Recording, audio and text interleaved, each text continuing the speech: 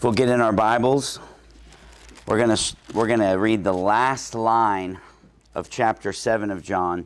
We're going to read from John 7:53 to John 8:11. This sermon is titled Go and Sin No More. Starting in John 7:53 It says they went each to his own house, but Jesus went to the Mount of Olives. Early in the morning he became he he came again to the temple, and all the people came to him, and he sat down and taught them. The scribes and the Pharisees brought a woman who had been caught in adultery, and placing her in the midst, they said to him, Teacher, this woman has been caught in the act of adultery. Now, in the law of Moses, it is commanded to stone such a woman. So, what do you say? They said this to test him, that they might have some charge to bring against him. Jesus bent down and wrote his finger on the ground. And they continued to ask him, and he stood up and said to them, Let him who is without sin among you be the first to throw a stone at her. And once more he bent down and wrote on the ground. But when they had heard it, they went away one by one, beginning with the older ones. And Jesus was left alone with the woman standing before him. Jesus stood up and said to her, Woman, where are they? Has no one condemned you? She said, No, Lord. And Jesus said, Neither do I condemn you. Go from now on and sin no more.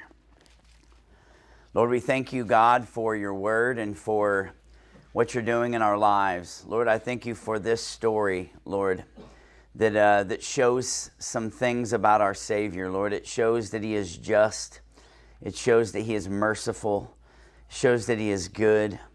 Lord, I am so thankful for a, a Savior that is personal and mindful of us, Lord. Wretched sinners, God. Lord, I thank you for the fact that God didn't come into the world to condemn the world, but He came so that the world might be saved through Him. We love you and we praise you in Jesus' name, amen.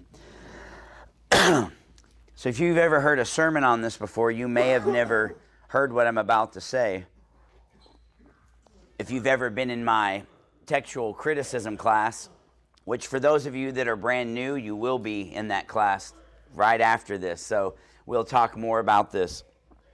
But if you notice in your Bible, when you look down, there may be two sets of brackets that cover the beginning and the end of this section of Scripture. And if you look down in the bottom of your Bible, it might say something like, not in earliest manuscripts. So you may be wondering, what does that mean? Well, I'm going to tell you what it means. This is not found, this story is not found in the earliest of manuscripts. So if you have a King James Bible, it probably doesn't say that in your Bible. And the reason why is because the King James Bible, which was translated in the 16th century, had a limited amount of manuscripts that it was translated from. This grouping of manuscripts is called majority manuscript or, or textus receptus. And this is how we get the, uh, the King James Bible. King James Bible is an amazing translation of the Bible. I love it. But there are a few places where there's a textual variance in the King James, and we have to address it. Out of the 6,000 Greek manuscripts we have, only the ones that are eh, around that time period have this story in it. This story was not even was not even associated with the Bible until the third century. And so that might shake you. It shouldn't, uh, because there's a lot of a, a, lot of great evidence that shows that this story is a actual story of Jesus. Almost the complete consensus of New Testament scholars believe that this story is true. It's a story that was told between apostles and it is part of the apostolic tradition, so we can have confidence in it. But it is important that I address this because I promise you, if I don't address this, and some of you have questions about the Bible, someone in the world's going to address it. Listen, we don't have anything to be afraid of. The truth is, uh, is not something we don't we don't serve. We're not in a cult. We, we we're not in the kind of religion where you can't ask any questions. You just gotta just gotta block, close your eyes. Listen, we we serve a, a God who is real. Uh, Christianity is logical, although there are supernatural elements to it, and so we can the truth can be scrutinized. The Bible says if you ask and seek and knock, He will make things clear to you. So I, would, would be not a good exegete of the Bible if I did not um, address this quickly. There are there's another couple of places where there's textual variance in the Bible, uh, but the two biggest one is the story of the woman in adultery in John 8, and then the longer ending of Mark that is in uh, most Mark. And if you ever read Mark, you'll have the same sort of thing where there's brackets around it, uh, and it will explain to you not in the earliest manuscripts. But for the most part, out of a book that is 2,000 years old, um, there's two places where there's this, this variance. We know the truth about it because we have over 20,000 manuscripts, 6,000 written in the original language, 15,000 written in languages that were around the time period. So I don't say that to give you a school lesson. I just want to frame this honestly before we get into the story. Probably the two most renowned New Testament scholars in the world today, Kruger and D.A. Carson, both believe that this story is a legitimate story of Jesus I don't have time to explain all the reasons why, but I agree with them. I agree with them. It's not in the earliest manuscripts, but I also agree with them that this is a story of Jesus. And so that's that's how we'll start listening to this message. A little uh, a little uh, uh, theology before we start the sermon. Jesus is focused about his father's business. It's interesting that we focus on a lot of other things about Jesus, but the truth is, almost every time a miracle happens or some sort of encounter with Pharisees or anything, it's always coming from or going to teaching. Jesus came to preach the gospel. Jesus came to proclaim himself as the long awaited Messiah. Jesus taught in the temple. Jesus taught on mountainsides. He was a rabbi.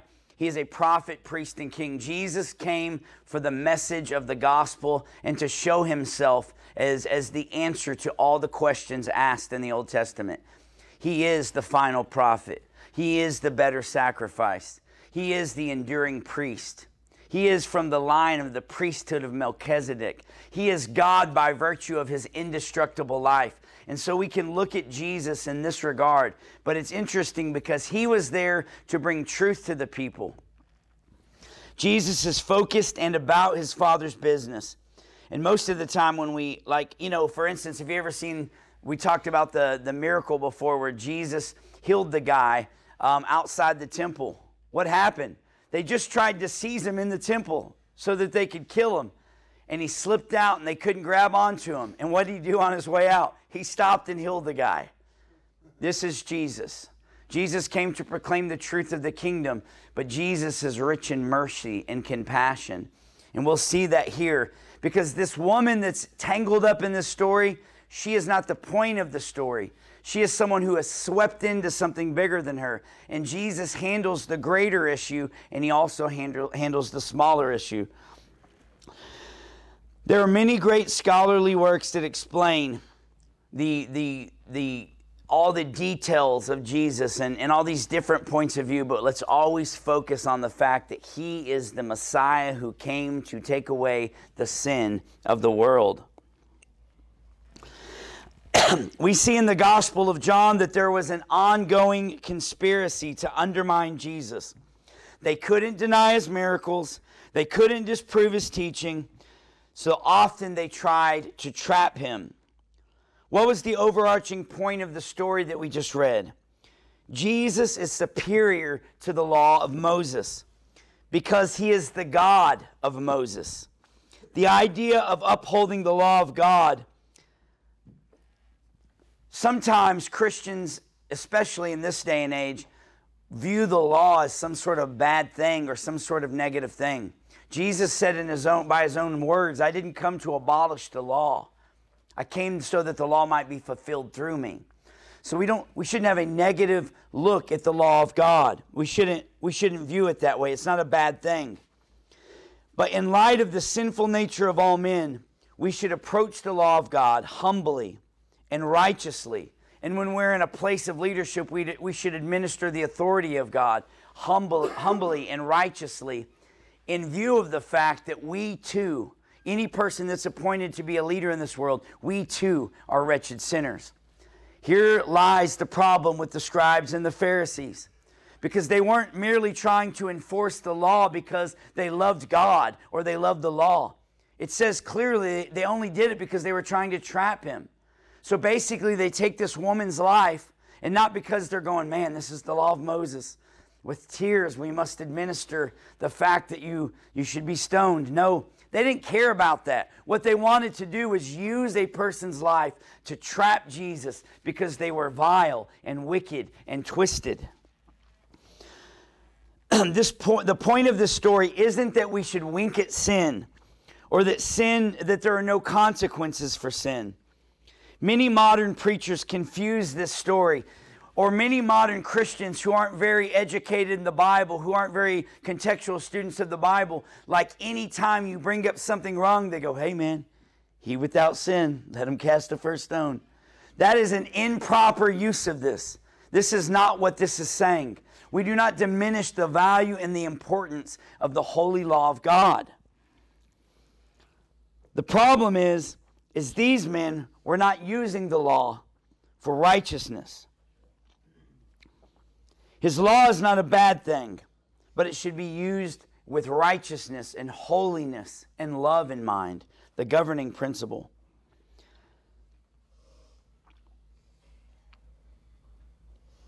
We understand that sin is not being winked at because the very last line of the story, Jesus says, Go and sin no more.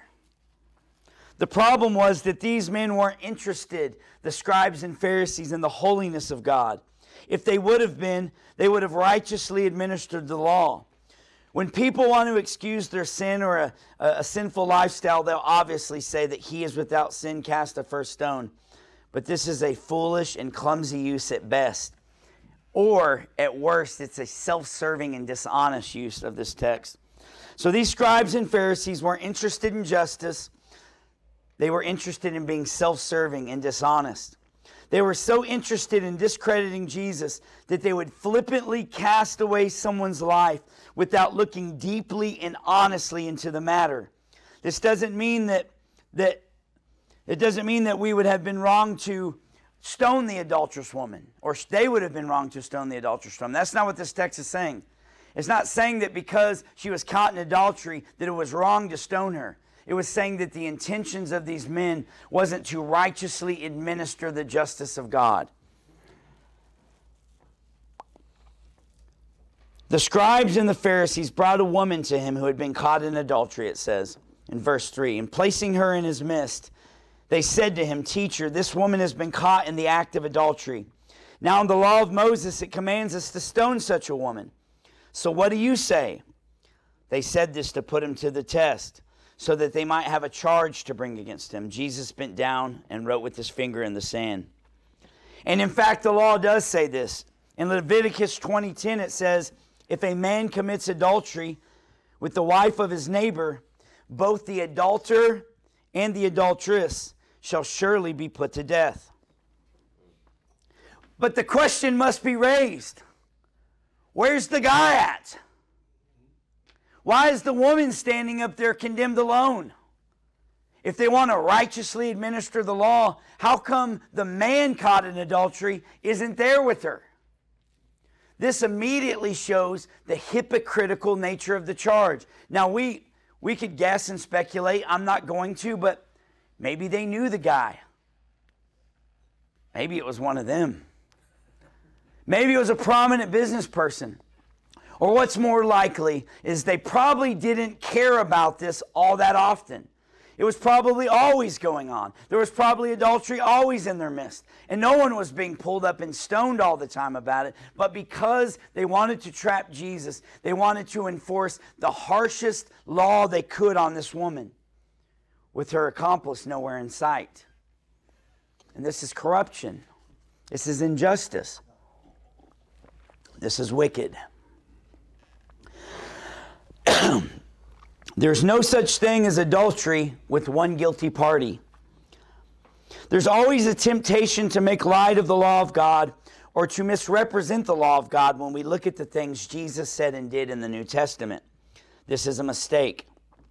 We must have a high view of God and the law of God because God is holy. But also because when we elevate God and His law to the proper place, it simultaneously elevates grace and mercy. See, we see grace as this cheap thing that, you know, sure, Jesus died for us, whatever. Jesus intervened on our behalf because we kind of feel like we half heartedly deserve it. Elevating the law of God puts things in perspective. It shows the reality of how desperate we are. And so when we elevate God and His law in its proper place, it also elevates grace and mercy. It also elevates the lordship of Jesus. He is Lord and above all. Guess what? He never compromised the law, and despite what Steven Furtick said, he never broke the law. But he is above the law because he is the giver of the law. He is the Lord of the Sabbath. He is the administrator of the law. He is the authority behind the law.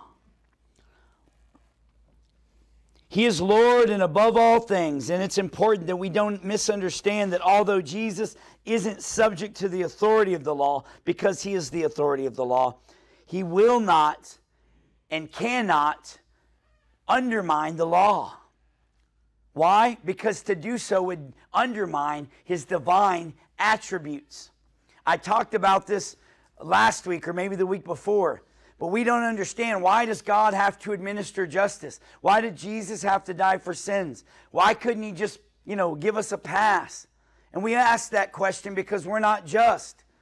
We always like the idea of, of justice being, you know, kind of our heads turned to it because we're wretched sinners and liars and thieves and self centered people. We don't understand that God is holy and he cannot deny himself and he will not deny himself. And that's what makes it even more powerful and beautiful that within, without denying the law, without breaking the law, he fulfilled the law and he did it for your benefit and for mine. He went to great lengths to make salvation possible for us. If the purpose was to fairly administer justice, like I said before, where was the man? Here's another question Where's the man? But how about where's the godly sorrow? I mean, in our culture today, the criminal justice system is definitely not perfect.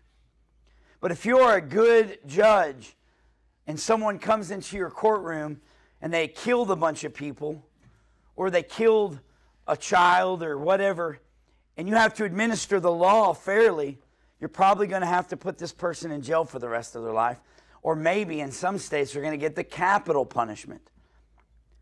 And so you're sad because this person has wronged many, many people. But at the end, when sentencing happens, this guy, you realize this guy's a person. When his mama comes up and says, Don't put my boy to death, just give him life. See, the truth is, is people who are aware of our own sin, even though God puts us in places where we do have to administer justice. If you're administering an, a, a, a judgment that would take somebody's life, how could you not do it with sorrow? How could you not do it with compassion? Justice must be administered. What are you going to do? Tell the person who, whose uh, kids were killed by this maniac, oh, we're just going to let him go. You can't do that. But on the other side of it, you also have another person's life in your hands. It's a weighty thing. These men could care less about the weight of it. They could care less about this woman's life.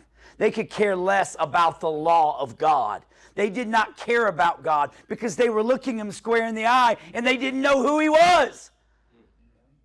And they studied and they knew the law and they knew all these certain things. And this thing that was supposed to represent and, and expose who the Messiah was, they were blind to it. Why? Because they were self centered and self serving and wicked, just like most of us are, until our eyes are open to the truth about God. If the purpose was to fairly administer justice, these men were not doing it. It's a solemn and humbling thing to administer justice. I understand this. I'm not some judge. I'm not a person who's ever had to put somebody have somebody put to death. But I'm literally in charge of men that sometimes I have to let them go to prison because they did wrong here. I have to kick them out of this place because they're, they're, they're not good for the rest of the body. But how can I do that without being humble and solemn about it when I was one of you? And I deserved to be kicked out. And I was a drug addict, and I was a liar, and I was a criminal. And here's the point that there is no person in the history of the world that doesn't have sin. These men should have been able to, inside of their own sin, even if they had to administer justice, look at this woman and say, I'm sorry, but we're going to have to kill you. it's not denying justice. It just shows the heart intent of these men. They didn't see their own sin, so they couldn't administer justice properly. There's been many times I've had to make hard decisions here, and I've done some of them in tears. It's that guy that I just, man, I hoped he would make it. He decides to go his own way. Trying to talk a dude out of leaving this place because he's mad at an intern as he's facing 20 years in prison. I'm like, dude, don't do it. Open your eyes. Stop being so self centered. I mean, at least have a little self preservation. But the wicked, hardened heart is a very, very hard thing to deal with. I propose to you it's impossible to deal with without interaction from the Holy Spirit of God. Matthew 5 27 says, You have heard it said, this is Jesus talking in the Sermon on the Mount, you shall not commit adultery.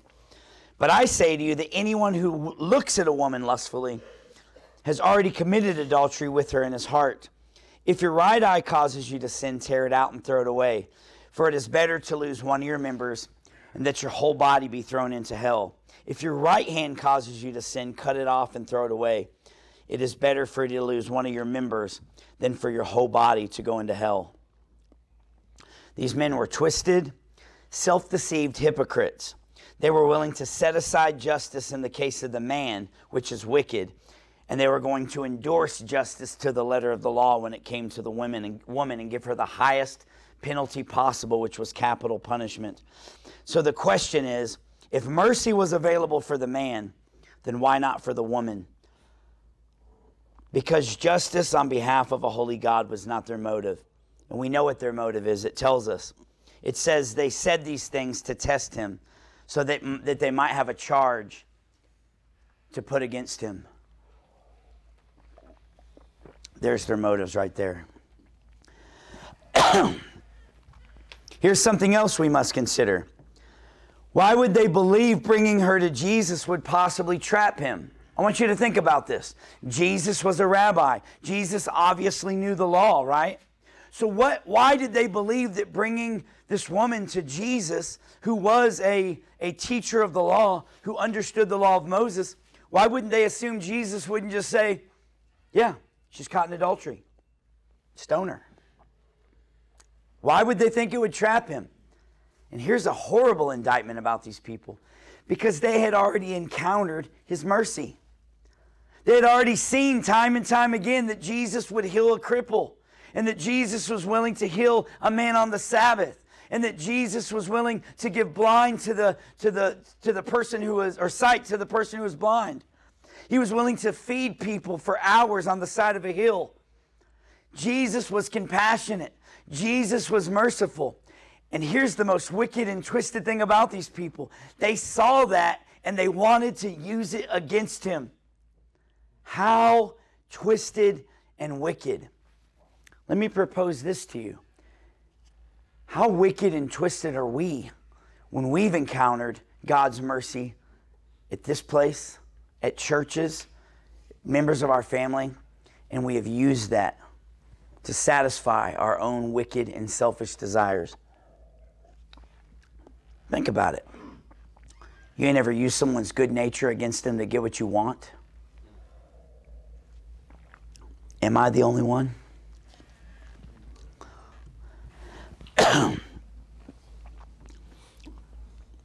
it was obvious they did this because he was merciful and kind, and they knew that they, that they could trap him. They're pretty clever.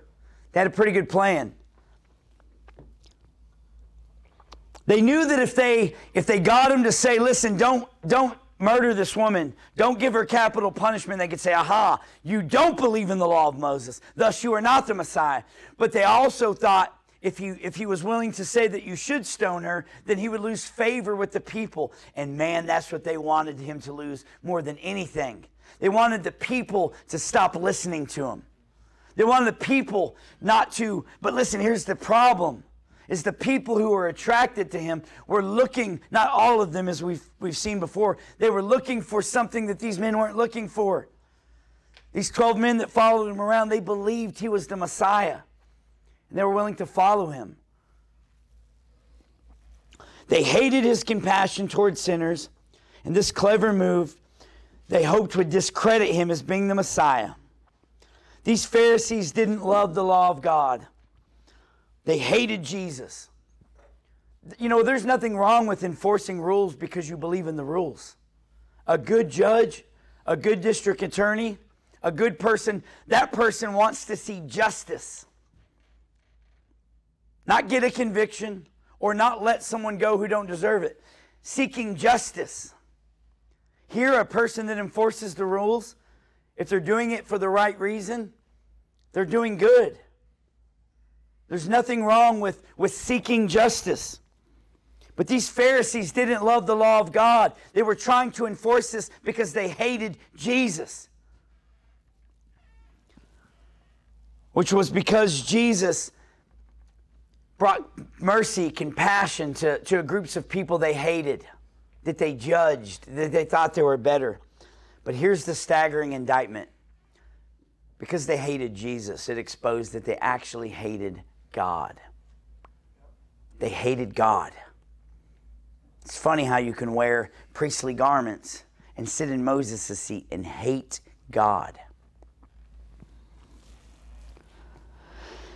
Just like the people in our day who invent a version of God that suits them. Those people don't love God either. Here's the problem you know what someone's feelings about God are when they encounter the Word of God. How, does, how do you react to God's very Word? Are you like the author of Psalm 119, where you can spend 176 verses talking about how you delight in the law of the Lord, how you love the edicts of God, how your life is built around love for God's word and His command? Can that be said of you? When you are encountered with the, the true version of Christ and it ruffles your feather because it exposes your sin, do you hate it? I know people that hate biblical preachers. They'd rather listen to a preacher who says what their itching ears want to hear. Listen, it's the same if you're being ultra legalistic like these Pharisees were, or if you're creating a version of Jesus on the other side of the street that lets you do you. Both people hate God. Both people hate God. You're looking right at the Jesus of the Bible and you say, that ain't for me. I like, I like the other version of Jesus. I don't like the one who flips over tables in the temple. I don't like ones who say, if you don't eat of my flesh and drink of my blood, you can't follow me. I don't like ones that say, listen, you've got to deny yourself, pick up your cross, and follow me. If you don't like that, Jesus, it's because you hate God, because you love yourself.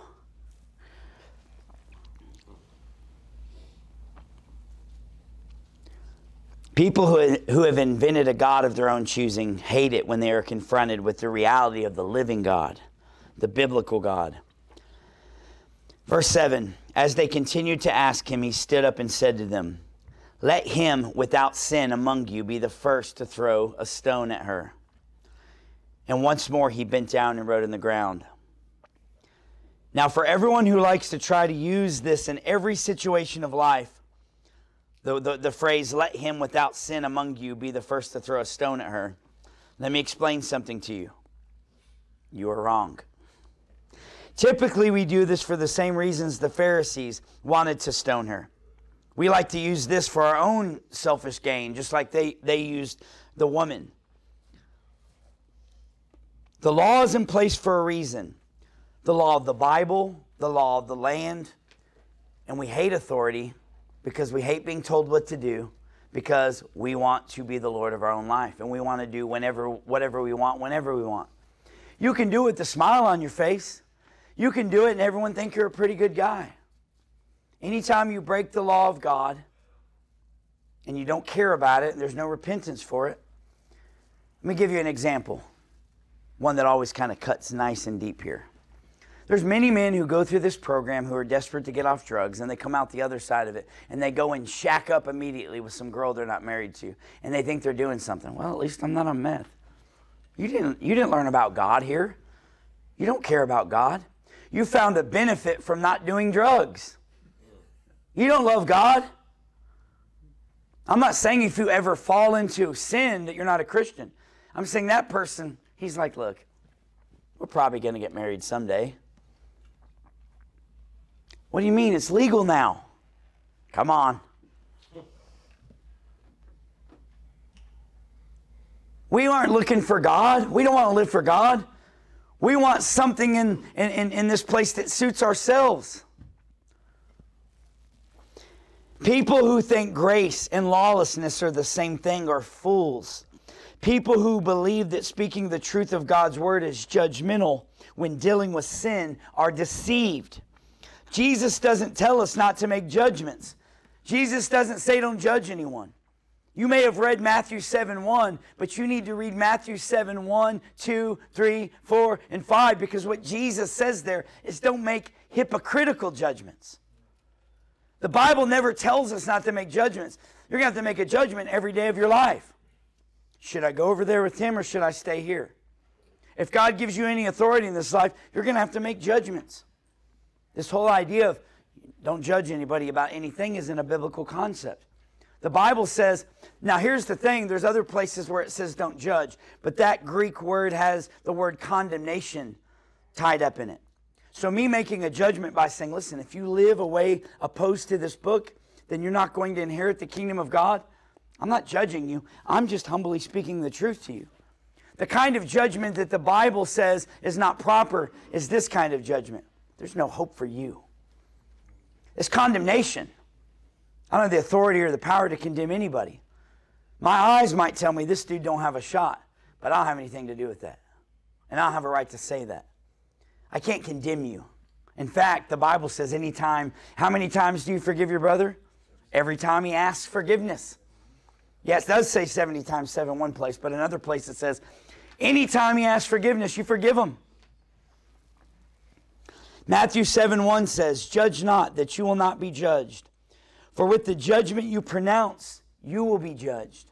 That doesn't mean that if you if you give a righteous judgment in an area of, of someone's life that you're going to be judged back the same way. No, you, if you didn't do anything to deserve that judgment, saying the intention, the way you handle that situation, are you handling with humility and integrity? Do you want to see true justice? Do you want what's right to come out of this? Or you have to get somebody? Or like these Pharisees, are you trying to use this authority you have at someone's expense to get what you want? That's a hypocritical judgment. No, it says, listen, judge not, that you not be judged.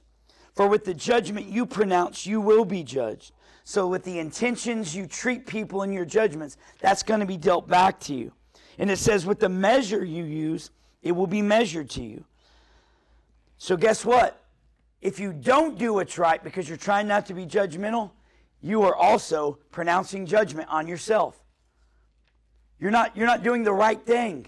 It's like me saying, I don't want to judge nobody, so I'm not going to tell anybody this is going on here. I'm not going to do anything bad, but I'm also not going to expose him for doing anything bad. The rules say you have to. So now you're living lawlessly.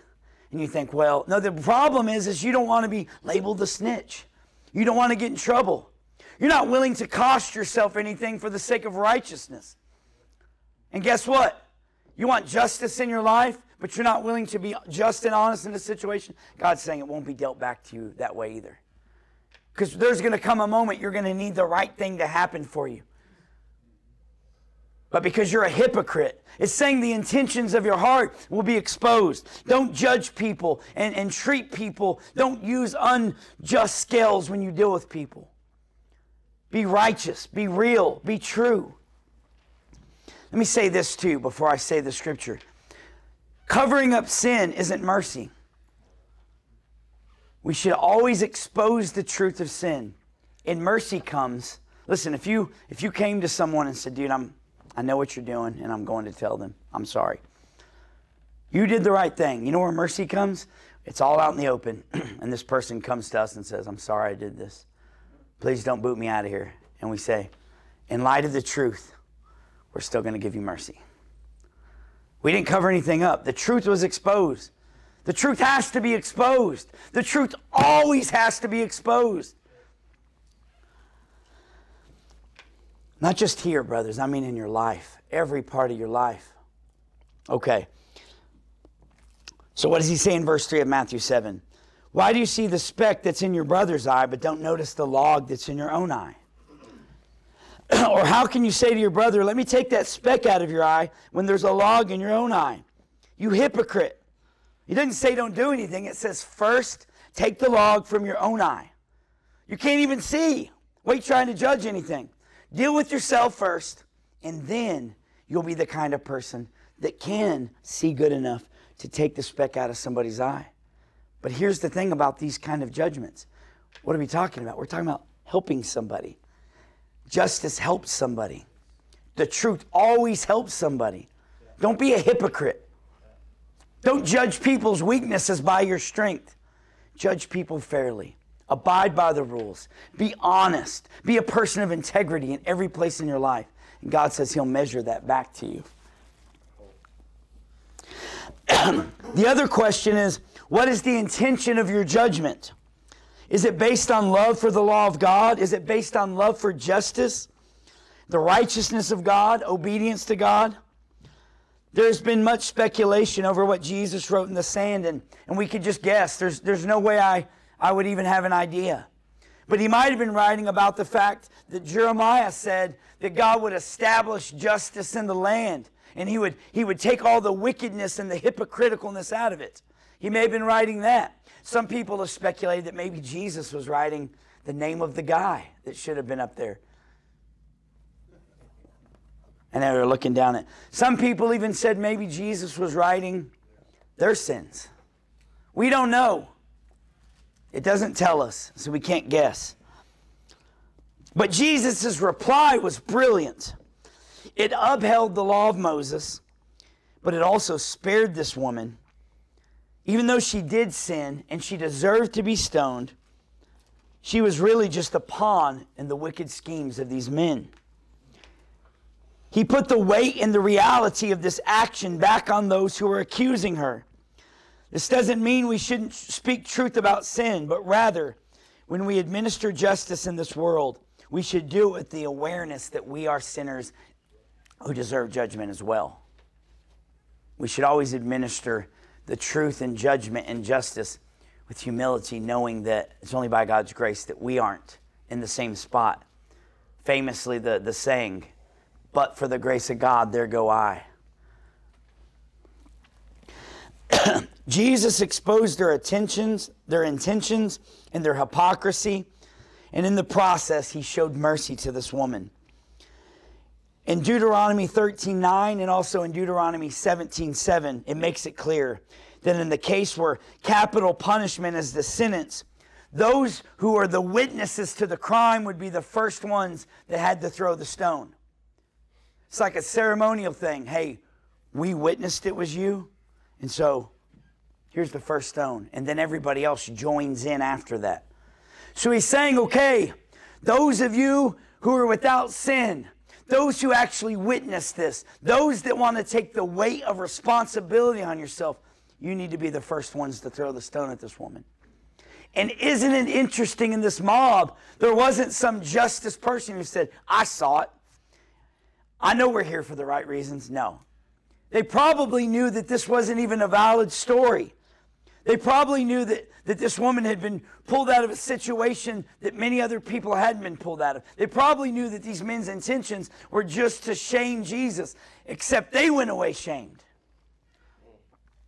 Nobody wanted to take the responsibility of being the person who administered the first throw. And it says they left one by one. It's interesting, they say the older ones left first, the ones who had more experience a larger frame of reference, maybe of their own sin. It says they walked away. Let's get down to the lessons. In this text, Jesus is reestablishing holiness. Jesus is reestablishing righteousness. Jesus is reestablishing justice. The book of Isaiah says, A bruised reed he will not break, and a smoldering wick he will not snuff out. He has come and he will bring forth justice. Jesus came to restore justice. But not justice and righteousness and holiness built on a broken foundation like the Pharisees had built it on, but on a solid rock, the rock of Himself. And He was doing this to position the law as a schoolmaster and a path that lead people to His mercy and His grace. Jesus never validates sin. The Word of God makes much of sin and how bad and damaging of sin. It says the wages of sin is death. We make much of sin as Christians because the truth about sin has to be seen clearly so that we understand the value and the power and the beauty of the mercy and grace of God. It means a lot that God made an, a way for all humanity to be pardoned. Romans 8:33 says this, "Who shall bring any charge against God's elect?" those of us who are called out, those of us who are Christians. Who can bring a charge against us? It is God who justifies.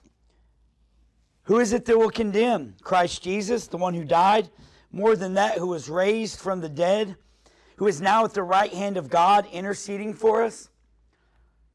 Here's the point about the humility and, and, and the, the broken nature of the way we approach God. We are approaching the judge. We're going in for a blind plea. We're not trying to pretend like, we're not trying to get a lawyer to, listen, the evidence is clear. We deserve the punishment.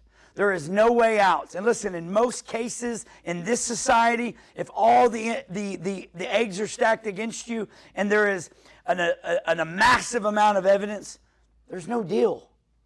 Usually the deal comes because maybe they're a little concerned they can't make their case. Our case is made against us. So, how does it show that the judge himself, the judge himself pardons us?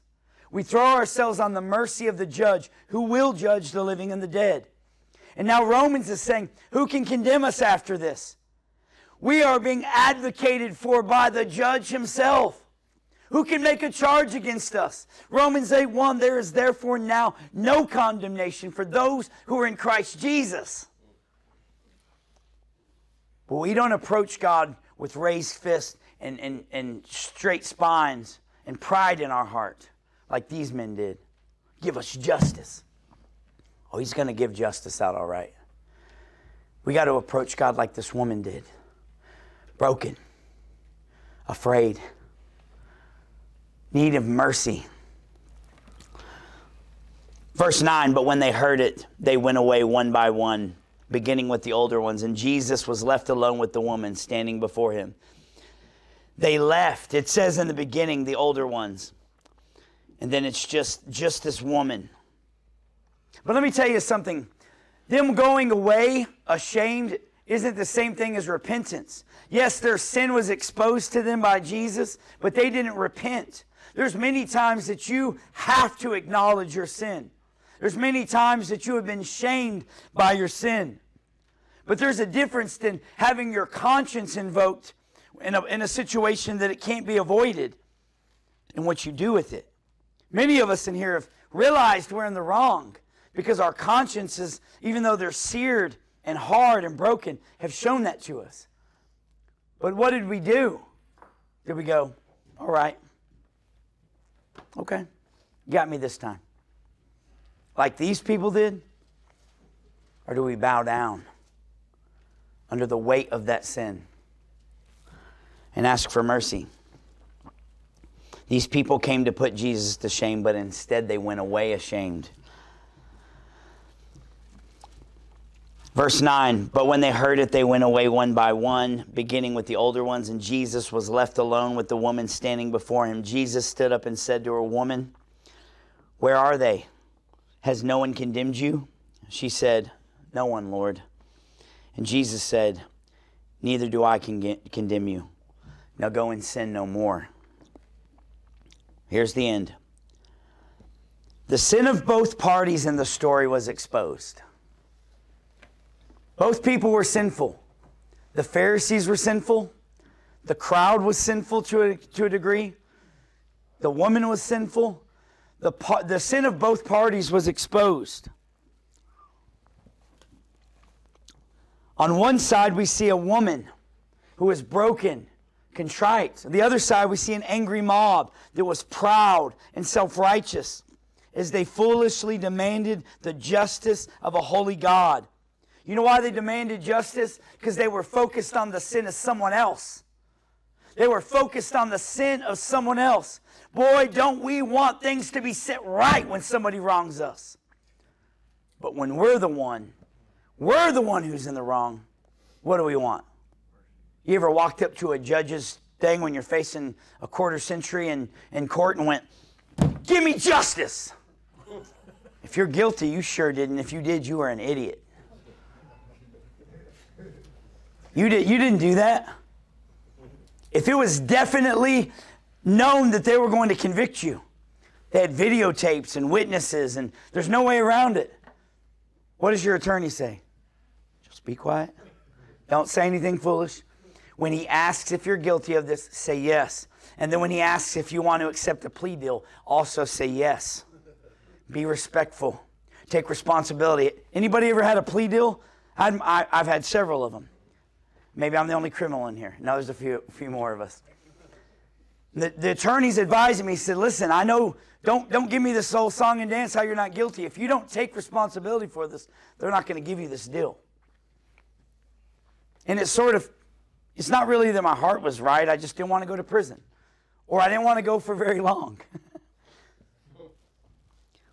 It's interesting, though, when we're looking into other people who have wronged us or, or people where, where justice isn't directly affecting us, oh, we always want it. We hear about the guy in the news, oh man, he, he, should, get the, he should get the full max. Or if someone wronged you directly, we'll come up here and we'll, we'll plead around with the staff member for 10 minutes. You ain't going to do anything about this? You ain't going to fire him? I need justice.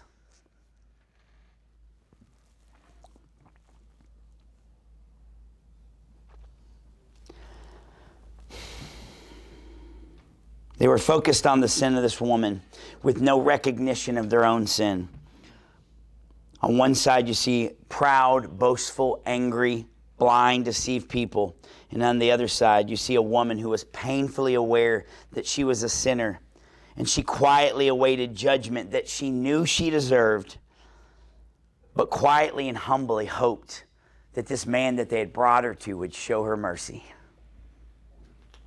doesn't say that, but how can that not be true? Her head's down. She's on the ground. She's crying. She knows she's guilty. She's not disputing her guilt. She's just seeking mercy. I'm here to tell you this. If you humbly seek God for mercy, He will never turn you away. Ever. There's never been one time in history that someone has humbly and honestly repented and sought God and he turned them away. God turns away the proud. God turns away the unrepentant. God turns away the people that feel self justified or self entitled. God turns away the people that want to retain authority of their own life. John 3:17 says, God didn't send his son in the world to condemn the world, but in order that the world might be saved through him. He didn't have to come we see that we already stand condemned before God.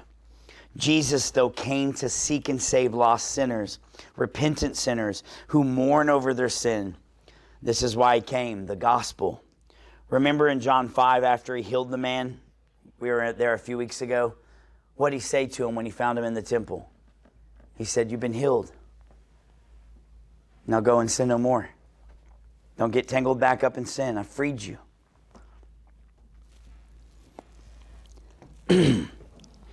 Keep yourself from sin. It always winds down, though, just like it did with the woman to just you and Jesus.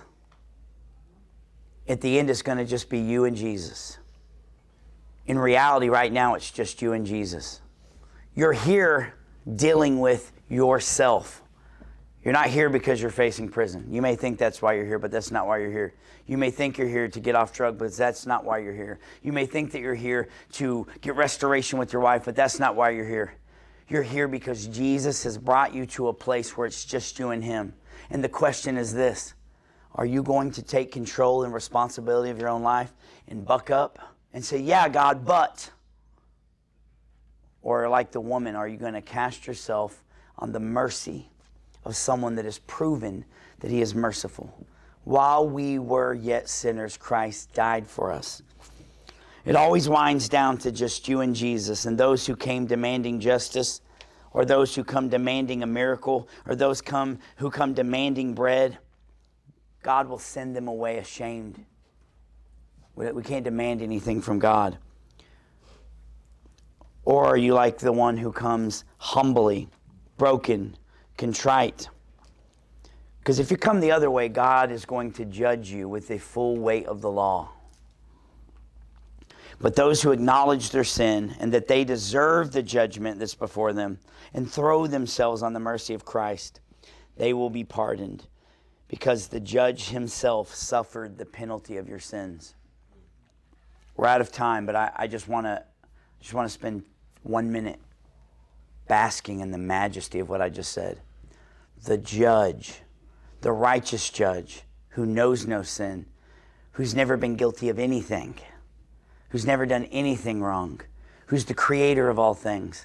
Not only did he pardon you, but the way he pardoned you was by inflicting upon himself the wrath that God had stored up for sinful humanity. It's insane to think about. It's completely insane. There may, there's nobody in the world that would do that for you. Maybe your mama. Maybe your mama. Maybe your mama would do that. I'll take his charge. Lord, take me, not him. Maybe. But the problem is, is even if they have the will to do it, they don't have the power to do it. Because they're guilty sinners as well. Even your mama, even your pastor, even a godly person who loves you, even if they're willing to do it, they couldn't do it. The only one who could do it did do it. And he did it for you, and he did it for me. And listen, we're going to talk about this so many times while you're here. But at some point, if the reality of those words don't impact you, don't break you, then you're in a bad place. And please understand, I'm not talking about an emotional response. I'm not saying if you don't break down crying when I preach that you're not really a Christian. I'm saying if you don't understand the weight of the words I'm saying, you don't recognize it. Just like if you were in a real courtroom and the judge said, I'm gonna, this guy is supposed to die capital punishment, but I'm going to take the punishment for him. I mean, what would, how would you walk out of the courtroom feeling? How would you walk out feeling? Grateful?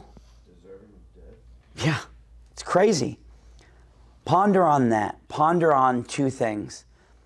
To simultaneously understand both things, you have to think about both at the same time. Think about the righteous decree of God's law and that those who break the law of God deserve death. Think about that. And then just reflect on, I don't know, not even your whole life, just the last couple years of your life. Heck, I could reflect on yesterday or Sunday if you played basketball with me. and even though I deserve, so, listen, I know we're out of time, but brothers, not even just what I've done. I would be, I would be ashamed if you could see inside my mind. If you could see the thoughts I've thought towards people when I've been mad at them. The lustful thoughts, the wicked thoughts, the angry thoughts, the self serving thoughts. I would be, I'd be ashamed. And even thinking those thoughts, Jesus said, makes me a murderer, an adulterer, I'm all these things. And I think about that a lot because it elevates the power and the beauty of the grace and mercy of God. He who knew no sin became sin. He became a curse for you and me. Lord, I thank you so much for this group of men and their lives. Lord, I thank you for the power of your Spirit. Lord, I thank you for the mercy that we see in our Savior, a personal Savior, God. Lord, that got down on our level, Lord. He's not some God, just like cults say, Lord, that have to we have to do a series of good works and maybe we make it or maybe we don't. Our God made sure we would make it by rolling up his sleeves and getting down in the dirt with us, living with us, walking among us, suffering with us, suffering for us, dying for us, so that all who call upon his name for mercy will be saved.